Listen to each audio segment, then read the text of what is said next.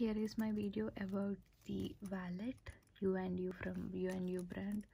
So this is the wallet which i bought. And maybe if you can open. We have lot of space. So here we can insert our id driving license.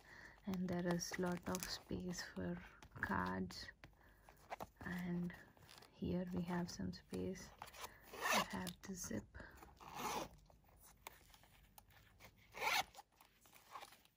this is the another slot. And it is very handy to use to carry. See?